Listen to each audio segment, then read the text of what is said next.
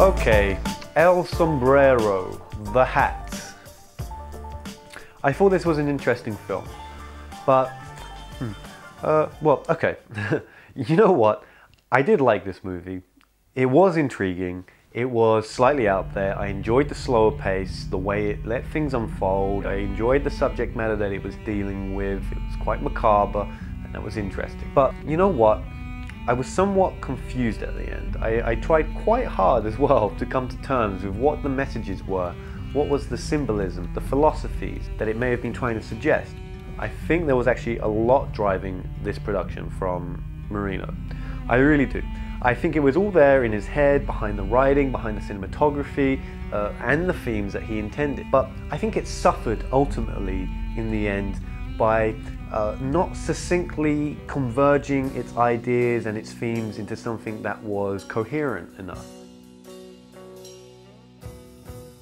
Let's take a look. Uh, the Hat. Okay, this is the principal part of the film. It's the title, uh, it's a symbol within it, and it's brought up on several occasions.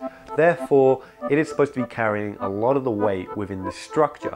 On analysis, the film just props up all manner of Freudian-like possibilities with this relationship, and it bugged me that it was never really quite clear what the uh, relationship was between these two. You know, what kind of complex was we dealing with here? Did we have a uh, prostitute and client issue, a friend-lover type thing, sex addict, drug addict, and then I think maybe at its most bizarre, which is where I'm going, daughter figure, father figure.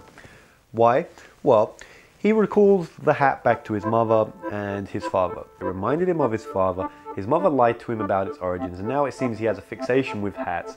And uh, you know he's getting this hooker to wear it while she strips off and you know has sex with him. Um, and then of course you call the film after it the hat. Well, what am I left to think? You know, when breaking it down, you're left with a very interesting idea. You've got a, a daughter, father, screw your mother complex behind this, uh, psychologically speaking.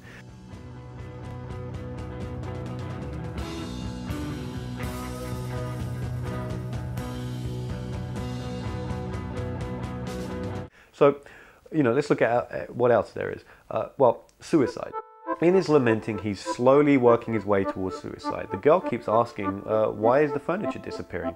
He's selling it before he kills himself. It's a planned suicide. But he doesn't tell her this. So what's deducible from that is that their relationship isn't actually that open. It's not that strong. So that harks back to the service client complex. Yet she brings up uh, escaping to Paris.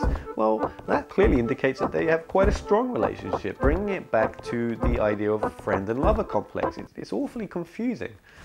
Let's go further. Um, the House of Cards. More cards in the bottom row. He's harking back to his upbringing. You have a greater structure with more cards placed at the beginning. Stronger root, stronger foundation. It's irreparable regardless of what you have placed above that because you have to start from scratch in order to build higher. This is what he says, okay? This guy's clearly got some real issues with his upbringing, his childhood, his parents, you know, whatever.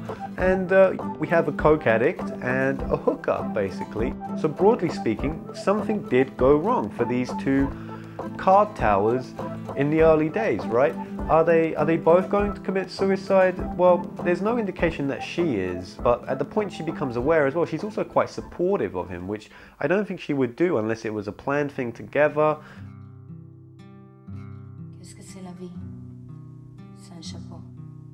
Apparently not a lot, but again, what are you really saying? What's life without mummy and daddy? Is that what you're trying to say? You know, dude, get over it. You're a grown man. Your hooker friend, she's smoking hot and she seems as though she cares about you. Go to Paris with her. Try the cuisine. Visit the Louvre. Fall in love and buy a beret or something, you know? Start afresh. See, claro. Still, anyway, above all of this, I did like the film. I really enjoyed it because it did make you think and there was uh, a puzzle to be solved in this. And uh, you know, with these issues, perhaps I just didn't get it. Perhaps it wasn't clear to me. Uh, on production value wise, excellent. The high key cinematography is gorgeous, very good practical use of digital film. The creamy look in the image, those nice clean blacks that you get, very nice liberal use of negative space, you know, the composition in those early scenes was great and all around just very beautiful textures uh, and a lovely color palette.